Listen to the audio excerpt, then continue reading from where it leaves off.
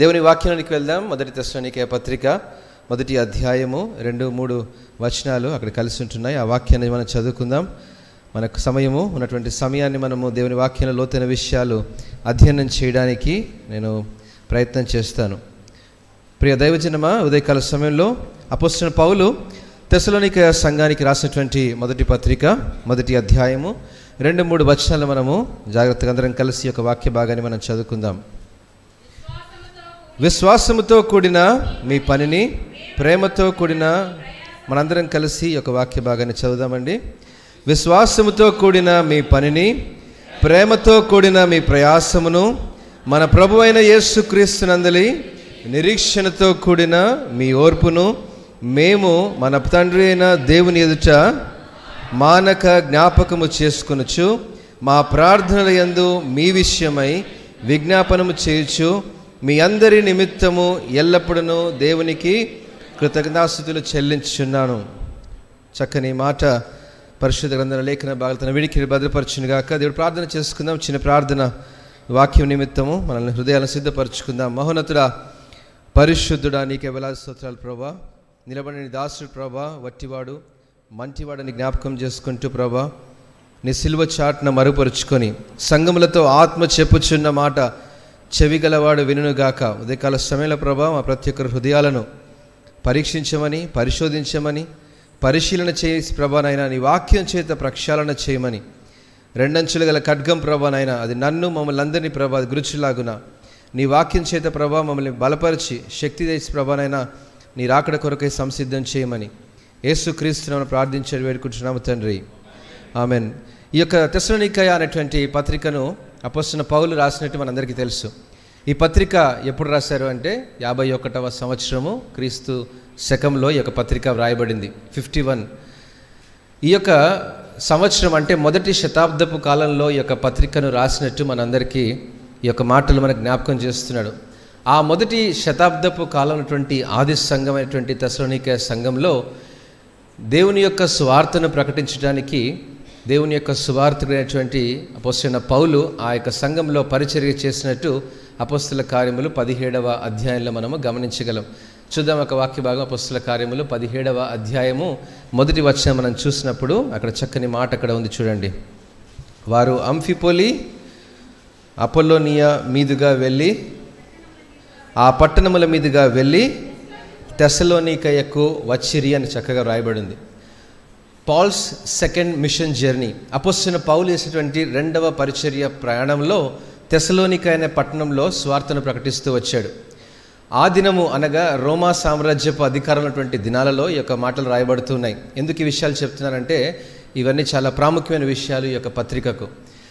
ఆ యొక్క రోమా సామ్రాజ్యపు అధికారంలో మరి పౌలు కూడా ఒక అధికారిగా ఉంటూ క్రైస్తవులను హతం చేయాలన్నటువంటి విషయంలో ఆయన పరిగెడుతున్నాడు. దమస్కు మార్గంలో పట్టుబడ్డాడు.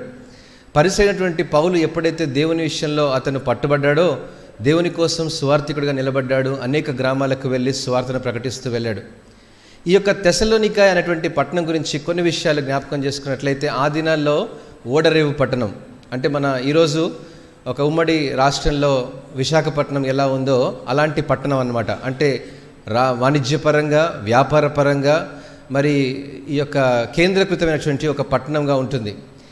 రాజధాని ఆ దినాల్లో Macedonia. The capital city is Macedonia Macedonia Achaia కూడా one of the top city Vijayawada ఎలా ఎలా ఉన్నాయో అంటే మీకు అర్థం అవడానికి చెప్తున్నాను ఆ దినాల్లో ఉన్నటువంటి ఒక ఉన్నతమైనటువంటి పట్టణాలకు ఇది కూడా ధీటుగా నిలబడింది తెసలోనిక అయినటువంటి పట్టణం. ఆ పట్టణంలో ఉన్నటువంటి సమాజం అనేటువంటి ఒక సంఘం పేరే తెసలోనికయ సంఘం. అంటే ఆ పట్టణాన్ని ఉద్దేశించినటువంటి సంఘం ఈరోజు అనేక సంఘాలుగా విస్తరించబడింది. కానీ ఆ దినాల్లో ఒక సంఘంగా అది ప్రారంభించబడింది. ఆ యొక్క తెసలోనికయ అనేటువంటి సంఘంలో అపస్తున్న పౌలు పరిచర్య చేసినట్టు అపోస్తుల కార్యములు పదిహేడవ అధ్యాయంలో మనం గమనిస్తున్నాం. ఇంకొంచెం ముందుకు వెళ్ళి చదువుకుందాం. రెండవ వచనం చూద్దాం. అపోస్తుల కార్యములు పదిహేడు రెండు. గనుక పౌలు తన వాడుక చొప్పున సమాజపు వారి వద్దకు వెళ్ళి ఏమని బోధిస్తా ఉన్నాడండి? క్రీస్తు శ్రమపడి మృతులలో నుండి లేచుట ఆవశ్యకమని నేను మీకు ప్రచురము చేయు ఏసే క్రీస్తయ్యున్నాడని లేఖనములో నుండి దృష్టాంతములుగా విప్పి చెప్పుచు వారితో మూడు విశ్రాంతి దినములు తర్కించుచుండెను. అక్కడ బోధించాడు అని రాయబడలేదు కానీ తర్కించుచుండెను అని రాయబడింది అంటే Q and A question and answers లాగా. నిన్నటి దినమున ఒక కాన్ఫరెన్స్ చేసినట్టు వారికి కూడా అక్కడ కాన్ఫరెన్స్ చేశారు. ఏంటంటే ఆ యొక్క మరి అన్య దేశస్థులు గ్రీసు దేశస్థులు యూదులు వారి మధ్యలో ఈ యొక్క యూదునైనటువంటి వాడు మరి వారు ఏ రీతిగా క్రీస్తునందు విశ్వాసం ఉంచాలో మీరే ఆ యొక్క యేసును సిలువేశారు. ఆ ఏసే మెస్సయ్య ఆ ఏసే మృతుల్లోంచి తిరిగి లేచినటువంటి వాడు అనే విషయాన్ని ఆ యొక్క మరి పౌలు జ్ఞాపకం చేస్తూ వచ్చాడు. గమలేయలు పాదముల దగ్గర ఏ ధర్మశాస్త్రానైతే అవపోషణ పట్టాడో గమలీయులు పాదముల దగ్గర ఏదైతే దేవుని యొక్క ధర్మశాస్త్ర విషయాన్ని నేర్చుకున్నాడో అంత మాత్రమే కాదు కానీ వాటిని దృష్టాంతాలుగా క్రీస్తు యొక్క జీవితంలోంచి తీసుకొని రుజువు చేయడం నేర్పించాడు. అనగా పది ఆజ్ఞలను ఏ రీతిగా క్రీస్తు ప్రభు వారు పాటించారని మోషే ధర్మశాస్త్రాన్ని ఏ రీతిగా ఆయన దాన్ని మరి అమలు చేశాడు తన యొక్క సిలువ ద్వారా అనేటువంటి విషయాన్ని ఇవన్నిటినీ కూడా వారికి తర్కించుచు వచ్చాడు మూడు విశ్రాంతి దినములు. ఒక విశ్రాంతి దినం ఒక వారంలో ఒక దినం ఉంటే మూడు విశ్రాంతి దినములు అంటే మూడు వారాలు వారితో పరిచర్య జరిగించినట్లు మనం అక్కడ గమనించగలం. ఆ యొక్క పరిచర్య యొక్క ప్రతిఫలం ఏంటో నాలుగో వచనంలో గమనించగలం. వారిలో కొందరును భక్తిపరులకు గ్రీసు దేశస్థులలో చాలామందియు ఘనత గల స్త్రీలలో అనేకులను ఎంత మూడు ప్రాముఖ్యమైనటువంటి వారు ఆ యొక్క సంఘంలో చేర్చబడ్డారు. ఎవరండి? కొందరు అని రాయబడి ఉంది భక్తిపరమైనటువంటి గ్రీసు దేశస్తుల్లో కూడా చాలా భక్తిపరులు ఉంటారు. గ్రీసు దేశస్తుల్లో భక్తి అంటే ఏంటంటే విగ్రహారాధికులు లేదా విగ్రహాన్ని పూజించేటువంటి వారు వారు చాలా నిష్ఠగా వారి జీవనాన్ని సాగించేటువంటి ఆ యొక్క జీవించేటువంటి వారు. ఆ తర్వాత మూడవది ఎవరంటే సెలబ్రిటీస్ ఘనత కలిగినటువంటి స్త్రీలు. అంటే వాళ్ళ యొక్క ప్రొఫెషనల్ లైఫ్లో కానీ వాళ్ళ స్పిరిచువల్ లైఫ్లో కానీ they are in the top most అనమాట అంటే వారి యొక్క పేరు ప్రఖ్యాతులు గాంచినటువంటి ఘనత కలిగినటువంటి స్త్రీలలో అనేకులు ఒప్పుకొని పౌలుతో శీలను ఆ యొక్క వెంబడించినట్టు గమనించగలం. అంటే తెసలోనికయ అనేటువంటి సంఘంలో ఉన్నటువంటి విశ్వాసులు ఏ రీతిగా ఉన్నారో ఆ డిఫరెంట్ కేటగిరీస్ ఆఫ్ పీపుల్ అంటే ఆయా డిఫరెంట్ మరి వర్గానికి చెందినటువంటి వారు ఆ సంఘంలో చేర్చబడ్డారు అని మనం గమనించగలం. ఈ యొక్క తెసలోనికయ అనేటువంటి పట్టణంలో అపోస్తున్న పౌలు పరిచర్య చేసిన తర్వాత అక్కడి నుంచి ఆయన వేరే వేరే ప్రాంతాలకు పట్టణాలకు వెళ్ళి స్వార్థను ప్రకటిస్తున్నాడు. అపో మరి తెస్సలోనికి రాసిన మొదటి పత్రిక మూడో అధ్యాయంలోకి వచ్చేసరికి ఆ యొక్క అపోస్తున్న పౌలు ఇప్పుడు ఎక్కడున్నాడు అంటే ఈ పత్రికను రాస్తూ ఉన్నప్పుడు ఏథెన్సు అనేటువంటి పట్టణంలో ఉన్నాడు. చూద్దాం మూడవ అధ్యాయం మొదటి వచనం కాబట్టి ఇక సహింపజాలక ఏథెన్సులో మేమొంటిగానైన నుండుట మంచిదని ఎంచి ఈ శ్రమల వలన ఎవడును కదిలింపబడకుండునట్లు మిమ్మును స్థిరపరచుటకును మీ విశ్వాస విషయమై మిమ్మును హెచ్చరించుటకును మన సహోదరుడు క్రీస్తు సువార్త విషయంలో దేవుని పరిచారకుడైన చాలండి. ఎవరిని పంపించాడు? తిమోతిని పంపించాడు. ఏ తెలిసినటువంటి పట్టణంలో అపోస్తున్న పౌలు ఉండి ఆ తెసలోనిక సంఘంలో నేను స్వార్థను ప్రకటించి వచ్చాను. ఆ తెసలోనిక సంఘంలో దేవుని యొక్క పరిచర్యను చేసి వచ్చాను. ఆ పరిచర్య ఇప్పుడు ఏ స్థితిలో ఉంది? ఒకసారి నువ్వు వెళ్ళి ఆ యొక్క పరిచర్యను చూసిరా అని పంపించాడు. ఏమని? ఆ తిమోతిని పంపించాడు అంటే విశ్వాస విషయంలో వారు ఏ రీతిగా ఉన్నారు? శ్రమలు వచ్చినప్పుడు కదిలింపబడకుండానట్లు విశ్వాసంలో వారు స్థిరంగా ఉండాలనే ఒక దృక్పథాన్ని కలిగి ఉన్నాడు పౌలు. ప్రసవ వేదనతో ఆ సంఘాన్ని కన్నాడు ఆ పౌలు. ఎన్నో శ్రమల మధ్య ఆ సంఘం నిలబడింది. ఈ యొక్క సంఘం ఎలా ఉంది అని వేదన బాధ కలుగుతుంది ఆయన ఏథెన్స్లో ఉన్నప్పటికి కూడా. ఎందుకంటే ఆ సంఘంలో దేవుని వాక్యాన్ని వారు విన్నారు అనేటువంటి ఒక నిర్ధారణ కలిగింది. ఈ యొక్క మాటలు తిమోతిని పంపించినప్పుడు తిమోతి ఈ తెశలోనికి అయినటువంటి పత్రికను ఒక రిపోర్ట్గా తీసుకొని వస్తున్నాడు పౌలు దగ్గరికి. ఏ ఉన్నటువంటి పౌలు దగ్గర తీసుకొని వస్తున్నాడు. తెశలోనిక సంగమా ఈరోజు నువ్వు ఏ రీతిగా ఉన్నావు అనేటువంటి యాభై ఒకటో సంవత్సరంలో ఉన్నటువంటి పత్రికను ఈరోజు మనం రెండు వేల ఇరవై మూడులో చదువుతున్నాము అంటే ఆనాడు ఆది సంఘం ఏ రీతిగా ఉందో ఐదు ప్రాముఖ్యమైన విషయాలు నేను మీ మధ్యలోకి తీసుకొని రాలి ఆశపడుతున్నాను. మొట్టమొదటి ప్రాముఖ్యమైన విషయం ఈ యొక్క సంఘము ఏ రీతిగా ఉందో మనం చూద్దామండి. మొదటి అధ్యాయము రెండు మూడు వచనాలు మనం చదువుకున్నాము. మొట్టమొదటి అంశము రెండు మూడు వచనాలు మరొకసారి మనం చదువుకుందాం. విశ్వాసముతో కూడిన మీ పని. రెండవది ప్రేమతో కూడిన మీ ప్రయాస. మూడవది నిరీక్షణతో కూడిన మీ ఓర్పు. ఈ మూడు ప్రాముఖ్యమైన విషయాలు ఆ సంఘంలో కేంద్రీకృతమై కనబడుతూ ఉన్నాయి. It is called a working church ఒక కార్యసిద్ధి కలుగజేసేటువంటి సంఘానికి సాదృశ్యంగా ఉంది తెసలనికే సంఘం. ఆది సంఘాలు ఆ రీతికి నిలబడ్డాయి. మూడు ప్రాముఖ్యమైన విషయాలు. మొదటిది ఏంటండి? విశ్వాసముతో కూడిన మీ పని ప్రేమతో కూడిన మీ ప్రయాస నిరీక్షణతో కూడినటువంటి మీ ఓర్పు. ఏంటండి? విశ్వాసముతో కూడినటువంటి పరీక్ష ఏంటి? విశ్వాసంతో కూడినటువంటి పని ఏంటి? ప్రేమతో కూడినటువంటి ప్రయాస ఏంటి? నిరీక్షణతో ఉన్నటువంటి ఆ యొక్క ఓర్పు ఏంటి? ఈ మూడు ప్రాముఖ్యమైన విషయాలు మొదటి భాగంగా అధ్యయనం చేద్దాం.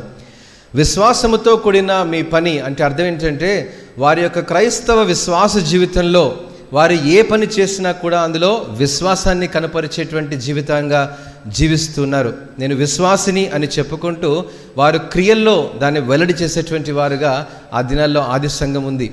ప్రియ దేవుని బిడ్డలారా మనం అనేక సార్లు మన యొక్క విశ్వాస జీవితంలో అనేక సార్లు కృంగిపోతున్నప్పుడు బలహీన పడిపోతున్నప్పుడు దాన్ని మరలా రీస్ట్రక్చర్ చేసుకోవడానికి మనం ఎక్కడికి పరిగెడుతూ ఉంటాం చెప్పండి? ఎక్కడికి వెళ్తూ ఉంటాం ఏదైనా ఒక శ్రమ వచ్చినప్పుడు ఏదైనా బాధ వచ్చినప్పుడు ఇబ్బంది వచ్చినప్పుడు మొట్టమొదటిగా ఇదిగో పాస్టర్ గారు మాకు సమస్య వచ్చింది కాల్ చేయండి అని కాల్ చేసి వెంటనే ఎవరికైనా ఫోన్ చేస్తుంటాం. కానీ ఒక విశ్వాసంతో కూడిన మీ పని అంటే అర్థం ఏంటంటే ఆ వ్యక్తి ఆ విశ్వాసి అనేటువంటి వ్యక్తి తన విశ్వాసాన్ని కనపరచడానికి నేను విశ్వాసంలో నిలకడగా ఉన్నాను నేను విశ్వాసంలో స్థిరంగా ఉన్నాను నా విశ్వాసంలో దిగజారిపోకుండా గట్టిగా పట్టుకున్నాను అని వెల్లడి చేసేటువంటి వ్యక్తి ఎలా ఉంటాడో తెలుసా? వెంటనే మోకరించి దేవుని సన్నిధిలోనికి వెళ్తాడు. ఒక తల్లి ఒక తండ్రి తన కుటుంబంలో సమస్య వచ్చినప్పుడు వెంటనే కుటుంబం అంతా కలిసి మోకరించి విశ్వాస ప్రార్థన చేస్తారు. అనారోగ్యం వచ్చినప్పుడు అయ్యా నాకు అనారోగ్యం వచ్చింది మీరు ప్రార్థన చేయండి అనేటువంటి విశ్వాసి కాదండి. నీ విశ్వాసమే నిన్ను స్వస్థపరచని దేవుని వాక్యం సెలవిస్తూ ఉంది. నీలో విశ్వాసం లేకపోతే ఎంతమంది ప్రార్థన చేసినా కూడా ఆ యొక్క స్వస్థతను పొందుకోలేము ప్రియ దేవుని బిడ్డారా ప్రతి పనిలో విశ్వాసాన్ని కనపరిచేటువంటి ఒక నైతిక క్రైస్తవ విశ్వాసానికి కేంద్రీకృతమైంది ఆ యొక్క విశ్వాస సంఘం తెసలనికే సంఘం. ప్రియ దేవుని బిడ్డలారా ఈరోజు మనం నేర్చుకునేటువంటి మన విశ్వాస ప్రయాణంలో విశ్వాసంలో అనేక సార్లు బలహీనపడిన సందర్భాలు ఉంటాయి. విశ్వాసంలో వెనుకంజ వేసిన సందర్భాలు ఉంటాయి. విశ్వాస జీవితంలో కృంగిపోయినటువంటి సందర్భాలు ఉంటాయి. దేవునిపైన విశ్వాసం ఉంచినా కూడా కొన్నిసార్లు మన ప్రార్థనకు జవాబు రానటువంటి సందర్భాలు ఉంటాయి. ఎన్నోసార్లు ఒక ఒక అంశం కోసం ప్రార్థన చేస్తున్నట్లయితే కొన్ని సంవత్సరాలు గడిచిపోయినా కూడా ఆ ప్రార్థనకు జవాబు రానటువంటి సందర్భాలు ఉంటాయి. సిలువలో ఉన్నటువంటి దొంగ ప్రార్థన చేస్తే వెంటనే దేవుడు ఒక స్పాట్లో ఆఫర్ ఇచ్చేశాడు. నేడు నీవు నాతో కూడా పరదేశంలో ఉంటావని కానీ అబ్రహామును ప్రార్థన చేస్తే పాతిక సంవత్సరాలు పట్టింది ఆ యొక్క వాగ్దాన ప్రతిఫలాన్ని చూడడానికి కాలేబు ప్రార్థన చేస్తే నలభై ఐదు సంవత్సరాలు పట్టింది. కానీ ప్రార్థించిన ప్రతి ఒక్కడికి ప్రతిఫలము తప్పక దొరుకుతుంది. తగిన సమయంలో నిర్దిష్టమైన సమయంలో దేవుడు కార్యాన్ని జరిగిస్తాడు. అదే విశ్వాసంలో మనము ఆ పనిని జరిగించేటువంటి క్రియలు మనం చూపించాలి. ఆనాడు తెస్లోనికే సంఘం కార్యసిద్ధి కలుగజేసేటువంటి సంఘంగా ఉంది. వర్కింగ్ చర్చ్ అంటే విశ్వాసాన్ని వారు బహిర్గతంగా వారు కనపరిచేటువంటి జీవితాన్ని జీవిస్తున్నారు. ప్రాథమికంగా ఏదైనా ఒక సమస్య వచ్చినప్పుడు ఏదైనా కష్టం వచ్చినప్పుడు వారు వెంటనే దేవుని దగ్గర ప్రాధాయపడేటువంటి విశ్వాస జీవితానికి సాదృశ్యంగా ఇంకొంచెం ముందుకు వెళ్దాము. రెండవ భాగం ఏంటండి? ప్రేమతో కూడిన మీ ప్రయాస. ప్రేమతో కూడినటువంటి ప్రయాస ఏ రీతిగా ఉంటుంది అంటే ఈ విశ్వాస క్రమంలో ప్రతి ప్రయాస దేనికోసం పడుతున్నారంటే వాళ్ళు ప్రేమను కనపరిచేటువంటి జీవితాన్ని జీవిస్తున్నారు. ఈ యొక్క క్రైస్తవ విశ్వాసంలో సంఘం అంటే క్రీస్తు ప్రణాళికల కేంద్రం. సంఘం అంటే కుటుంబాల కుటుంబం సంఘం అంటే ఒక కుటుంబం అని అది ఒక సంఘము ఒక కుటుంబముగా చేయబడుతుంది. ఏదైనా కాలుకి ముళ్ళు గుచ్చుకుంది అనుకోండి చెయ్యి ఏం చేస్తుంది? వెంటనే వెళ్ళి ఆ యొక్క ముళ్ళును పెరికి వేస్తుంది.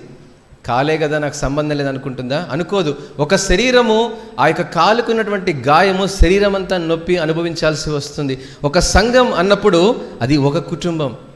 ఒక సంఘంలోటువంటి ఉన్నటువంటి కుటుంబం వారు వారి కుటుంబంలో ఒక తమ్ముడికి చెల్లికి ఏదైనా ఇబ్బంది వచ్చినప్పుడు మిగతా కుటుంబ సభ్యులు గమనుంటారా ఉండరు. వారు వారి కోసం పరిగెడుతూ వారి కోసం ప్రయాసపడతారు. కష్టం వచ్చినప్పుడు ఆ కుటుంబం అంతా కలిసి బాధపడుతుంది. ఆనందం వచ్చినప్పుడు ఆ కుటుంబం అంతా కలిసి సంతోషిస్తుంది. ఏది క్రైస్తవ సంఘం యొక్క సిద్ధాంతం? ఈరోజు ఆ తెశలోనిక సంఘం మనకు ఉదాహరణగా నిలబడింది. ప్రేమతో కూడిన మీ ప్రయాస అంటే ప్రతి ప్రయాసల వారు ప్రేమని వెదజల్లేటువంటి విశ్వాస జీవితాన్ని వారు కనపరుస్తున్నారు. ఆ ప్రేమను వెదజల్లేటువంటి జీవితంలో వారు దినదినము ఆ ప్రేమను వారు వర్ధిల్ల చేస్తూ ఆ ఒక కుటుంబముగా ఒక ముద్దగా ఆ సంఘాన్ని వారు కట్టుకుంటున్నారనే సంగతిని ఇక్కడ తెసోనిక సంఘం మనకు సాదృశ్యంగా నిలబడింది. ప్రియ దేవుని బిడ్డలారా ఈరోజు మన విశ్వాస ప్రయాణంలో ఇటువంటి ప్రేమను ప్రదర్శించేటువంటి క్రైస్తవ సంఘంగా ఒక సంఘముగా ఒక కుటుంబముగా సంఘం అంటే నాలుగు గోడలు కానే కాదండి. సంఘం అంటే ఏదో ఏసీ చర్చిలు కాదు సంఘం అంటే లక్ష మంది వెయ్యి మంది కాదండి. ఒక కుటుంబం. సంఘం అంటే ఒకే కుటుంబం. ఆ సంఘంలో దేవుడు మనకు అప్పచెప్పినటువంటి బాధ్యతలు. ఒక్కొక్కరు వారి తలాంతుల కొద్దీ వారి పరిచర్య సాధనాలుగా దేవుడు వారిని వాడుకుంటారు. ప్రేమతో ఐక్యతలో వారు ప్రయాసపడుతున్నారంట.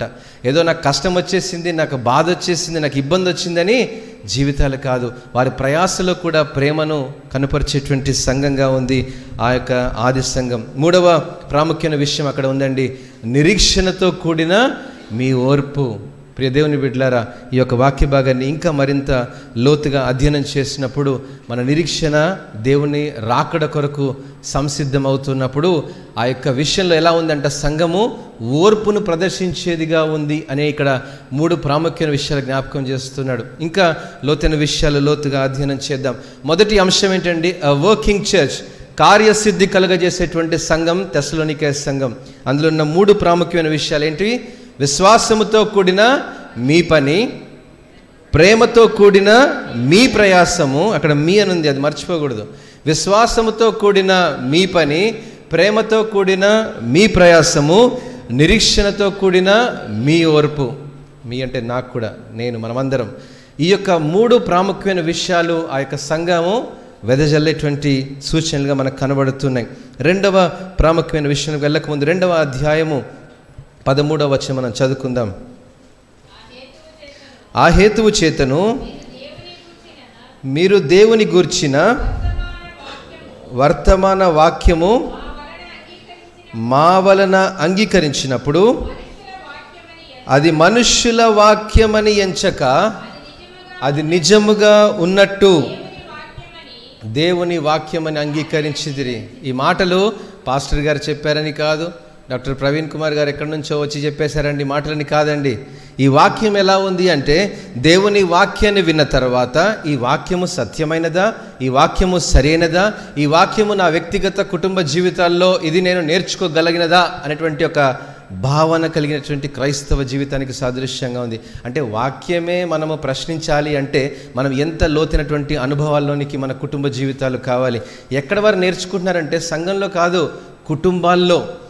వ్యక్తిగతంగా వారి వ్యక్తిగత ప్రార్థనలో a quiet time when they spend with the Lord కుటుంబ ప్రార్థనలో a family prayer time that they keep for the Lord ఈ రెండు ప్రాముఖ్యమైన విషయాల్లో ప్రార్థన అనేటువంటి బలిపీఠాన్ని వారి ఇంట్లో కట్టుకుంటున్నప్పుడు ఆ ప్రార్థన ద్వారా కుటుంబంలో తల్లి తండ్రి నేర్చుకున్నటువంటి మాటలు ఎలా ఉన్నాయంటే they are thinking that these are the words coming from the Holy Spirit పరిశుద్ధాత్మ దేవుని యొక్క నడిపింపుతో మనకు దేవుని వాక్యం వచ్చింది అని నేర్చుకునేటువంటి సంఘంగా ఆనాడు ఆది సంఘంలో కుటుంబాలు విస్తరించబడ్డాయి. ప్రియ దేవుని బిడ్డలరా ఇది మనుషులు చెప్పారు అనేటువంటి వాక్యం కాదు కానీ ఇది కేవలము దేవుని మాటలు అనేటువంటి వాక్యమని ఎంచినటువంటి సంఘంగా ఉంది. ఈ యొక్క పులిపీఠం దగ్గర నుంచి ఏ మాట వచ్చినా కూడా it is always guided through a Holy Spirit పరిశుద్ధాత్మ నడిపింపు ద్వారానే దేవుని యొక్క కార్యాలు జరుగుతాయి. నాలాంటి సాదాసీదా నార్మల్ పీపుల్ నిలబడ్డా కూడా దేవుడు తన నోటి బురగా వాడుకుంటాడు. ఎవరైనా సరే బహుశా రేపు మీరు వాక్య పరిచర్య చేయవచ్చు. మీరు ఎక్కడికైనా దేవుని సువార్తను తీసుకుని వెళ్ళొచ్చు. దేవుని యొక్క పరిశుద్ధాత్మ నింపుదల వారి మీదకి వచ్చినప్పుడు ఆనాడు పెంతుకోస్తు దినమున దేవుని ఆత్మ అగ్నిజ్వాలల వలె వాళ్ళ మీదకి వచ్చాయి. ఎప్పుడైతే దేవుని పని మనం చేస్తామో you if you're playing an instrument if you're playing singing a song ఏదైనా దేవుని పరిచర్య చేస్తున్నా కూడా స్టెఫెను ఆ యొక్క చిన్న చిన్న పనులు చేస్తూ ఉన్నాడు కానీ హతసాక్షిగా నిలబడ్డాడు. మనం ఏ పని చేసినా కూడా దేవుని యొక్క ప్రసన్నత దానిలో ఉంటుంది కాబట్టి జాగ్రత్త కలిగి ఇది దేవుని పరిచర్య అనేటువంటి ఒక జాగ్రత్త కలిగి ఈ పరిచర్యను వారు చేసినట్లు మనము గమనించగలం ప్రియదేవుని బిడ్డలు. అందుకే కార్యసిద్ధి కలుగజేసేటువంటి సంఘంగా ఉంది. మరొక ప్రాముఖ్యమైన విషయం చూద్దామండి. మొదటి అధ్యాయము ఆరో వచనము. పరిశుద్ధాత్మ వలన కలుగు ఆనందమును గొప్ప ఉపద్రవమందు చాలండి. వారు దేవుని వాక్యాన్ని ఎలా అంగీకరించారంట? ఒక మంచి ఏసీ చర్చ్లో కూర్చొని దేవుని వాక్యం అందించలేదు. ఒక మంచి కంఫర్టబుల్ లైఫ్ స్టైల్లో వాళ్ళు దేవుని అంగీకరించలేదు. దేవుడు మంచి ఉద్యోగం ఇస్తే నేను చర్చ్కి వస్తానండి. మంచి లక్ష రూపాయలు జీతం ఇస్తే నేను పది పదివేలు కానుకిస్తానండి కాదండి. గొప్ప ఉపద్రవమందు దేవుని వాక్యాన్ని అంగీకరించారు.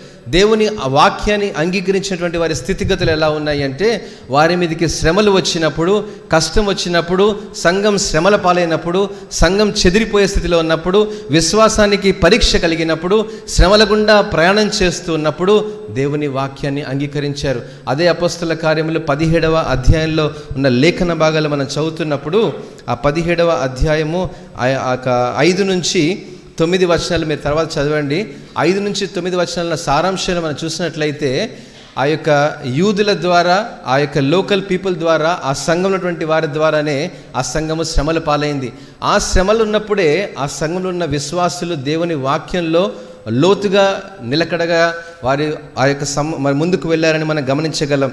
ఇదే మాటను తెస్లోనికే పత్రికలో ప్రస్తావిస్తూ చూద్దాం. రెండవ అధ్యాయము పద్నాలుగో వచనం మనం చూద్దాం. అవును? సహోదరులారా మీరు యూదయలో క్రీస్తు యేసునందున్న దేవుని సంఘములను పోలి ఏంటండి?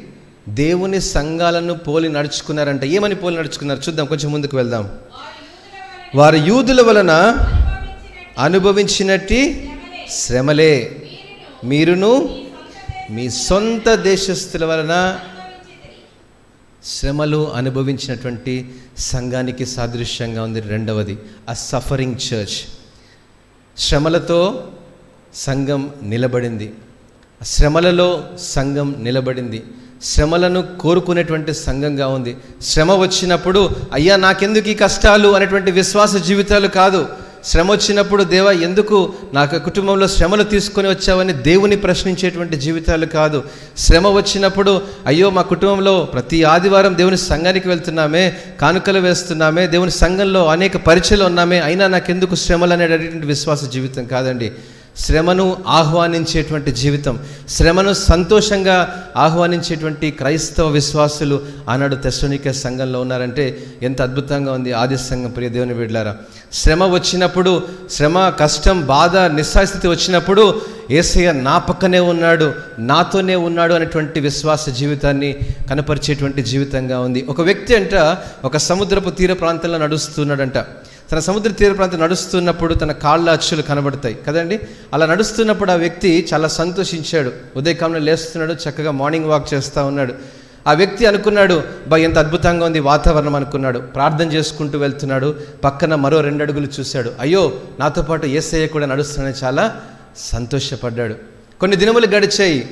కొన్ని దినములు అలా గడుస్తున్న విశ్వాస ప్రయాణంలో ఒకనాడు ఆ వ్యక్తికి ఒక ఉపద్రవం లాంటి సమస్యలు వచ్చాయి. తుఫాను లాంటి నిందలు అవమానాలు బాధలు వచ్చాయి.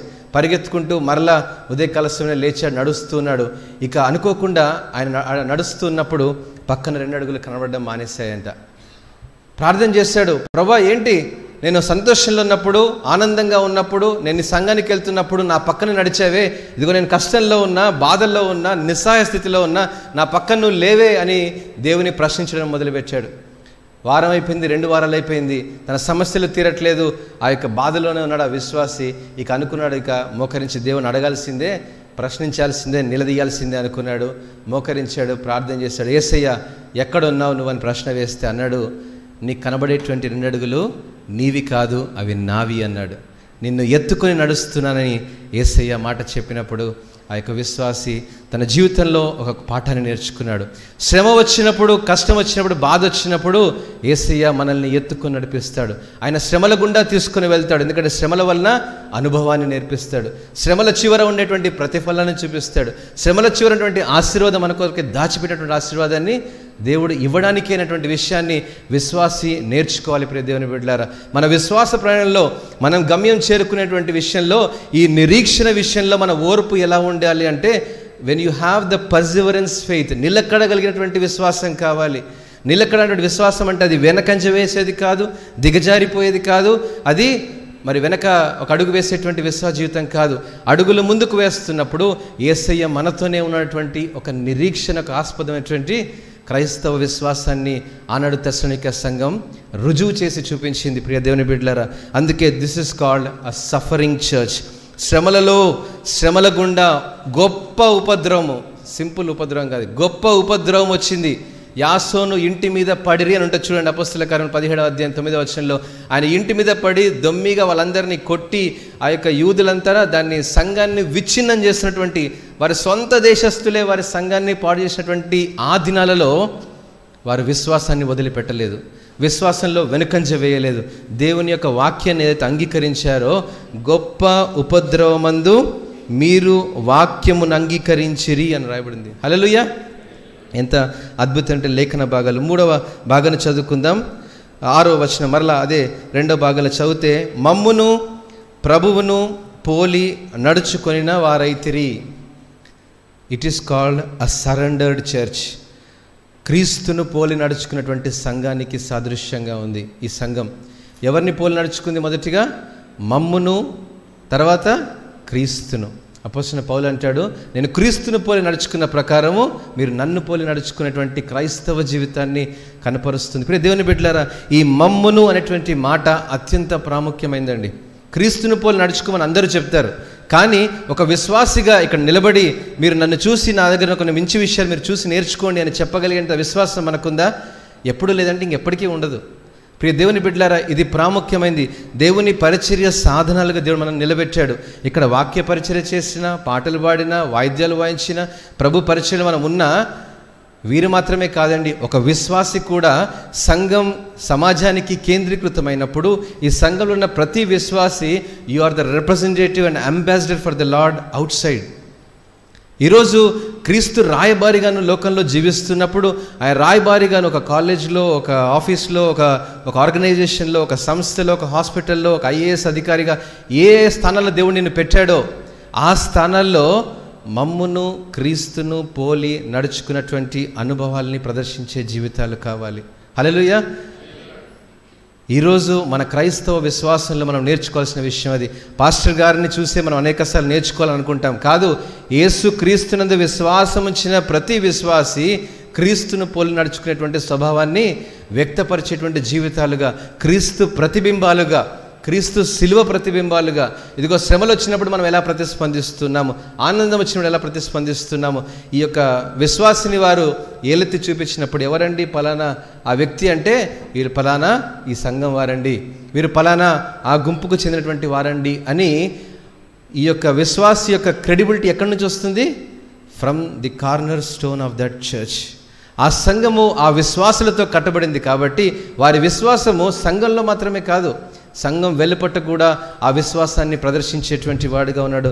అందుకే the Christ likeness this is the key for the unity of the church ఈరోజు ఒక క్రైస్తవ కుటుంబంలో ఉన్నటువంటి మనము ఆ కుటుంబానికి చెందినటువంటి వారంగా ఉన్నటువంటి మనము ఒక చిన్న బిడ్డను చూసినప్పుడు ఒక చక్కగా కంఠద్వాక్యం చెప్పింది అనుకోండి. ఏమంటారు? ఈ బిడ్డ ఎవరండి అంటే? పలానా విజయ్ కుమార్ గారి కూతురండి పలానా రమేష్ గారి కొడుకండి పలానా షారోన్ గారి అమ్మాయి అండి అని ఈ రీతిగా మనం వాళ్ళ తల్లిదండ్రుల్ని మనము ప్రస్తావిస్తూ ఉంటాం. అలానే ఒక క్రైస్తవ కుటుంబంలో ఉన్నటువంటి ప్రతి విశ్వాసిని కూడా వీరు క్రీస్తును పోలి నడుచుకుంటున్నారు. వారి నాయకులు ఎవరు వారి సంఘం ఏంటి? అక్కడికి మనం కూడా నడిపించబడాలి అనేటువంటి ఒక దృక్పథాన్ని మన సంఘం ఆనాడు కేంద్రీకృతమైంది. ప్రియ దేవుని బిడ్డలారా ఈరోజు ఈ మూడు ప్రాముఖ్యమైన విషయాలు మొదటిది కార్యసిద్ధి కలుగజేసేటువంటి సంఘం ద వర్కింగ్ చర్చ్ రెండవది ద సఫరింగ్ చర్చ్ శ్రమల గుండా వెళ్ళేటువంటి సంఘం. మూడవది ద సరెండర్డ్ చర్చ్ క్రీస్తును పోలి నడుచుకున్నటువంటి సంఘానికి సాదృశ్యంగా ఉంది. నాలుగో ప్రాముఖ్యమైన విషయం పది వచనంలో మనం చదువుకుందాం. తొమ్మిది పది.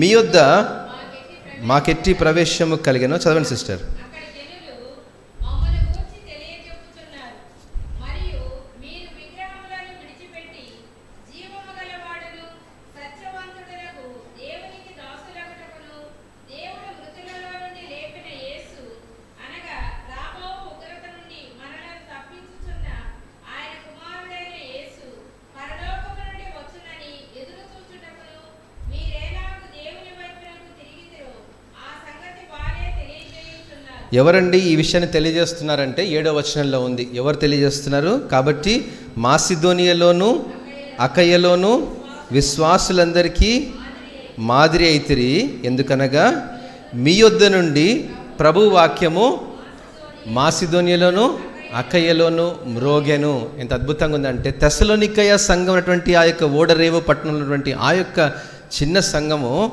ఆ సంఘంలోటువంటి ఉన్నటువంటి విశ్వాస క్రమము వారి విశ్వాస నైపుణ్యత వారి యొక్క నైతికత ఆ యొక్క ప్రతిబింబాలు క్యాపిటల్ సిటీ రాజధానిలో ఉన్నటువంటి సంఘాల్లో మ్రోగుతుందంట.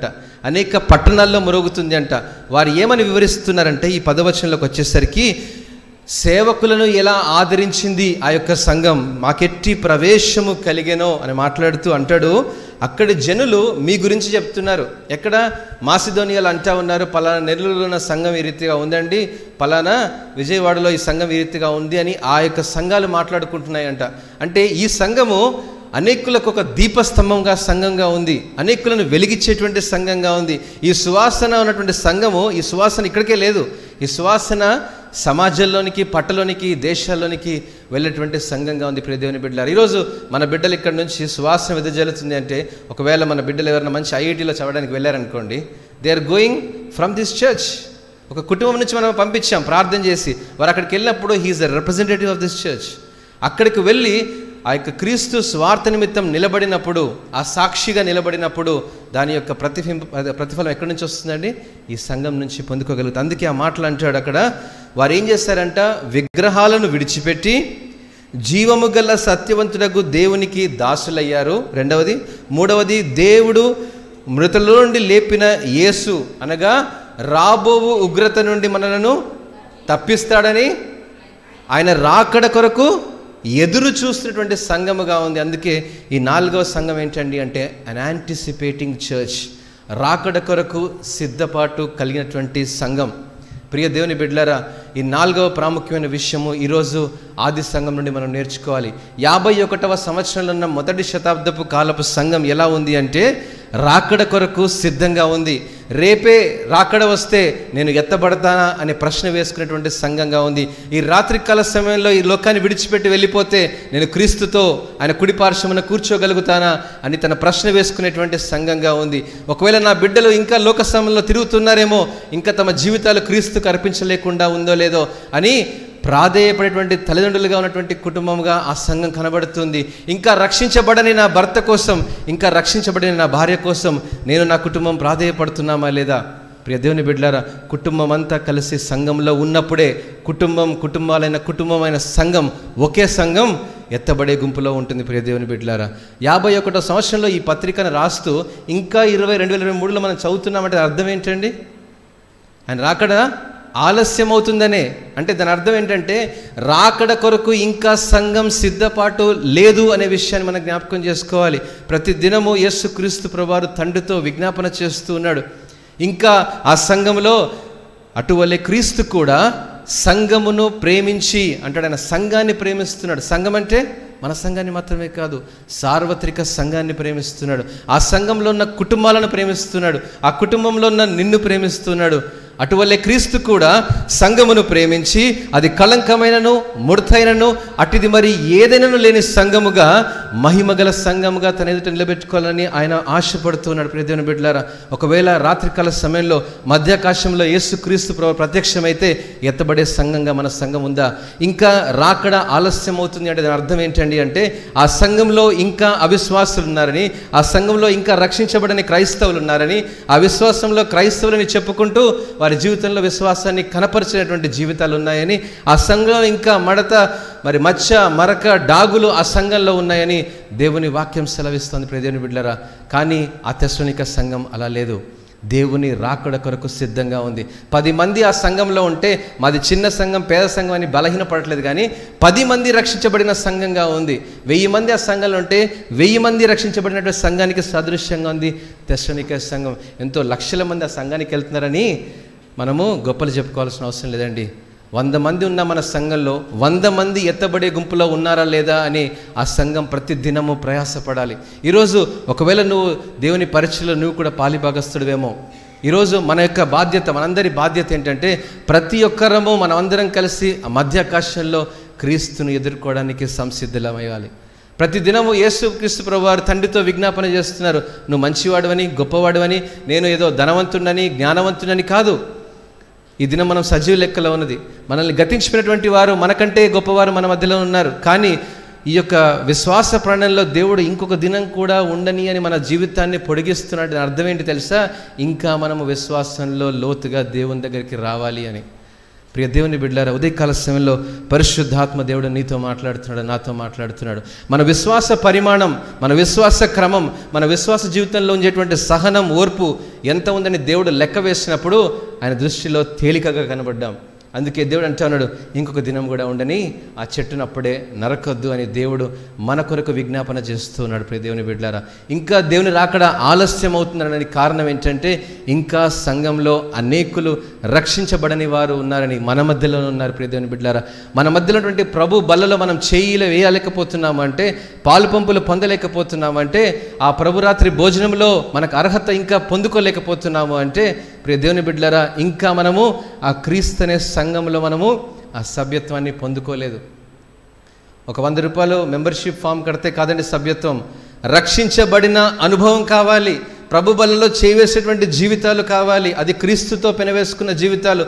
వారే ఎత్తబడే గుంపులో ఉంటారు.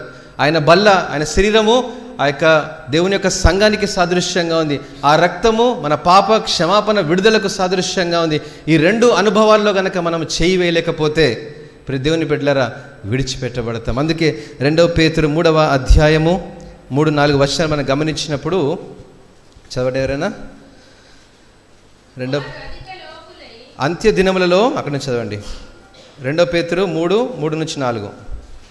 అంత్య దినములలో అపహాసకులు అపహసించుచు వచ్చి తమ స్వకీయ దురాశ చొప్పున నడుచుకొనుచు ఆయన రాకడ గుర్చిన వాగ్దానము ఏమాయను అని ప్రశ్నిస్తారు. అంతేకాదు పితరులు నిద్రించినది మొదలుకొని సమస్తమును సృష్టి ఆరంభం ఉన్నట్టే నిలిచి ఉన్నది అని చాలామంది మాట్లాడుతూ ఉంటారు some Christians claim this every day ఏంటండి? చాలా లోతుగా బాగా బైబిల్ చదివినటువంటి వారు ఏమంటారు తెలుసా? మనుషులు పుడుతున్నారు చనిపోతున్నారు పుడుతున్నారు చనిపోతున్నారు ఇంతేనండి ఇంకా అంటారు. దేవుని వాక్యాన్ని బోధించేటువంటి సేవకులు అంటే మరొక ఆదివారము పునరుద్ధాన దినము ఈ రీతిగా మనం అందరం కలిసి దేవుని వాక్యాలను కలుసుకుందాం. కదండి? రేపే రాకడ వస్తే.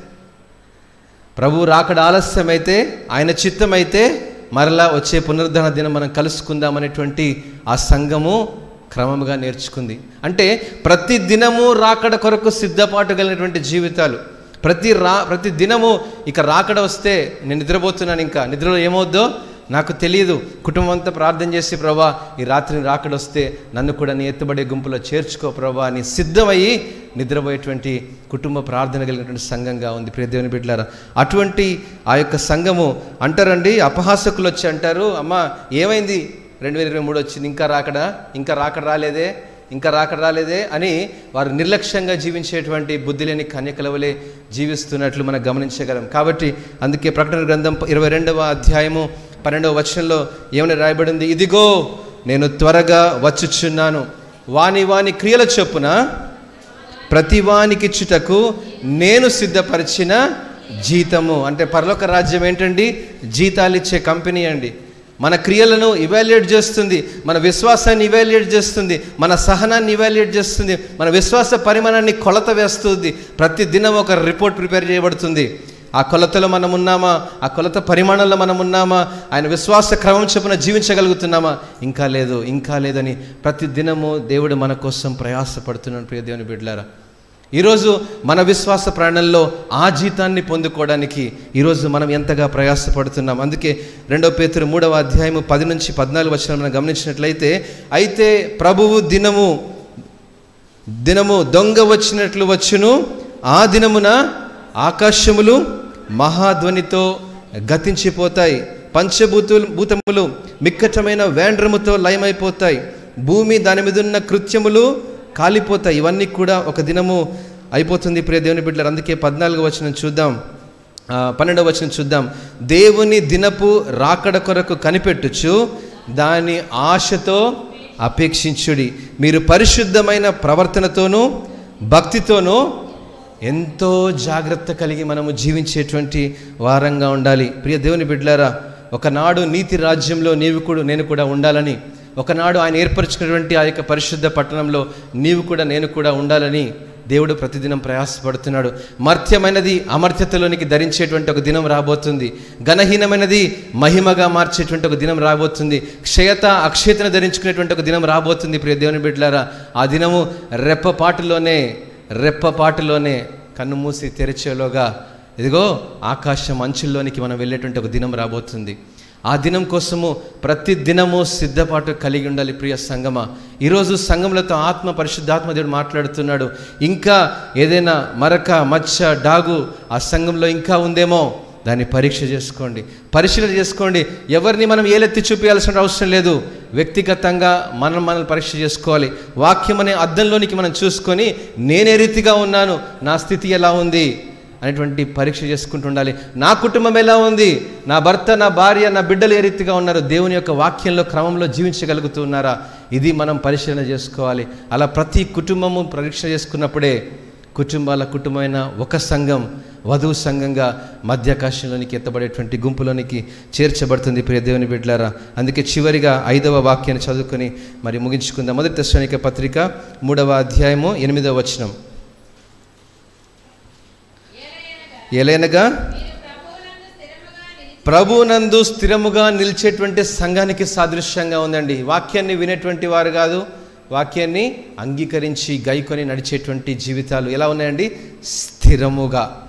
కదిలించబడని విశ్వాసం. అందుకే పౌలు ఏమంటాడు? తిమోతిని పంపిస్తూ మీ విశ్వాసమును ఎవడును కదిలించబడకుండానట్లు. ఎవడంటే ఏ బయట విషయాలు కానీ ఏ ఒక్క వాక్యాలు కానీ ఈరోజు ఎన్నో వర్తమానాలు మరి మనకి లోకంలో మనకు వినబడుతూనే ఉన్నాయి. ఏ వాక్యం విని కూడా పక్కదోబట్టి ఇచ్చినటువంటి విశ్వాసం కాదు మన విశ్వాసం. ఎవరో ఒక సేవకుడు వచ్చి బాగా చెప్పాడు అదంతా రైట్ అనుకునేటువంటి జీవితాలు కాదు. వాక్యముగా ఉందా లేదా? అని పరిశీలన చేసుకునేటువంటి తత్వజ్ఞానం కానీ లేదా పరిశుద్ధ లేఖన భాగాల జ్ఞానం కానీ దేవుడు ముందుగానే ఆ విశ్వాసంలో పెట్టాడు దేవుడు. ఆ విశ్వాస క్రమంలో ఉన్నటువంటి జీవితాలు ఎలా ఉంటాయంట? స్థిరముగా నిలిచితిరా. ఏమనుంది? మేమును బ్రతికినట్టే అంటాడు. ఈరోజు ఇక్కడ సంఘ కాపరులు వారి పరిచర్య విధానాలు కొన్ని సంవత్సరాల నుంచి మరి వారి తండ్రి గారు కూడా మరి ఉదయకాల సమయంలో కలిశాను ఎన్నో సంవత్సరాల నుండి పరిచర్య చేస్తున్నారు. ఆ విశ్వాస ప్రాణంలో ఒక విశ్వాసిని వారు ప్రతి దినము ఆ విశ్వాసిని సంఘంలో బలపరుచుకోవడానికి ప్రయత్నం చేస్తున్నటువంటి విశ్వాసి ఒకవేళ వెనకంజ వేశాడు అనుకోండి ఆ యొక్క కాపరి చచ్చినట్టే. ఆ పరిచర్య ఇక పనికిరానట్టే. ఎందుకంటే ఆ విశ్వాసి ఆ ఎత్తబడి గుంపులో చేర్చబడలేకపోతే ఆ విశ్వాస ప్రయాణము వ్యర్థమైపోతుందేమో అనేటువంటి ఒక ప్రసవ వేదనతో ఆ పౌలు ఆ సంఘాన్ని కన్నాడు. ఆ సంఘంలో ఉన్నటువంటి ఆ విశ్వాసుల గురించి మాట్లాడుతున్నాడు. మొదటిది కార్యసిద్ధి కలుగజేసేటువంటి సంఘం. రెండవది శ్రమల గుండా వెళ్ళేటువంటి ద సఫరింగ్ చర్చ్ శ్రమల గుండా వెళ్ళేటువంటి సంఘం. మూడవది ద సరెండర్డ్ చర్చ్. దేవుని క్రీస్తును మరి పోలి నడుచుకున్నటువంటి సంఘంగా ఉంది. నాలుగవది ఏంటండి? రాకడ కొరకు సిద్ధపాటు కలిగినటువంటి సంఘం ద యాంటిసిపేటింగ్ చర్చ్. ఐదవది ది స్టెడ్ ఫాస్ట్ చర్చ్. స్థిరత్వము కలిగినటువంటి సంఘం వాక్యంలో ప్రార్థనలో ఈ యొక్క దేవుని యొక్క విషయాల్లో నిలకడగలిగినటువంటి సంఘానికి సాదృశ్యంగా ఉంది. ప్రియ దేవుని బిడ్డలారా అందుకే దేవుని వాక్యంలో మనము ఎలాగూ వర్ధిల్చి ఉన్నామో మనం చూద్దాం. ఒక పదమూడవ వచనం చదివి ప్రార్థన చేసుకుందాం. పదమూడవ వచనం మూడు పదమూడు. మరియు మన ప్రభు అయిన యేసు తన పరిశుద్ధందరితో వచ్చినప్పుడు తన తండ్రి మన తండ్రి అయిన దేవుని ఎదుట మీ హృదయములను పరిశుద్ధత విషయమై ఎలా ఉండాలంట? అనింద్యులుగా ఉండాలి. ఉండడానికి ఏం చేస్తున్నాడు ఆయన? స్థిరపరచుటకై మేము మీయడల ప్రేమలో అభివృద్ధిని కనపరిచేటువంటి సంఘము ఈరోజు మన సంఘంగా ఉండాలండి. ప్రేమ ఈరోజు ఉన్నటువంటి ప్రేమ అదే ప్రేమ రేపు కాదు. ప్రేమలో అభివృద్ధి. తల్లు వంచి ప్రార్థన చేద్దామా? ప్రతి ఒక్కరం కూడా ఈరోజు ఈ యొక్క ఉదయ మధ్యాహ్న కాల సమయంలో పరిశుద్ధాత్మ దేవుడు మనతో మాట్లాడుతూ ఉన్నాడు.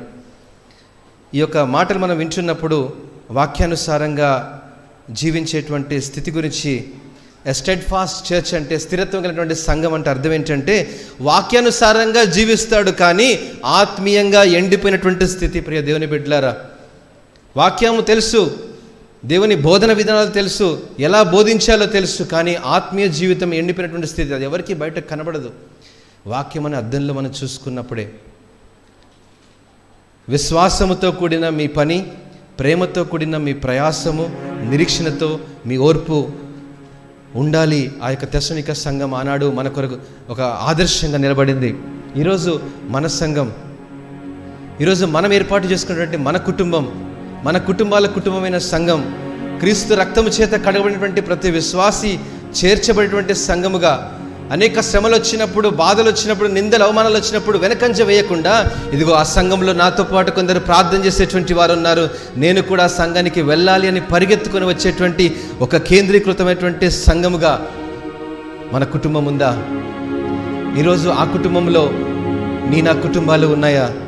ఇంకా రక్షించబడని వారుంటే ప్రియ స్నేహితుడా ఇది మిక్కిలి అనుకూల సమయం. నేడే రక్షణ దినమని మీ జ్ఞాపకం చేస్తున్నాను. దేవుని రాకడ the heaven is at hand పరలోక రాజ్యము సమీపించి ఉన్నది గనుక మారు మనస్సు పొందిన యేసుక్రీస్తు ప్రభువారు మొట్టమొదటిగా చెప్పిన మాట ఇదే.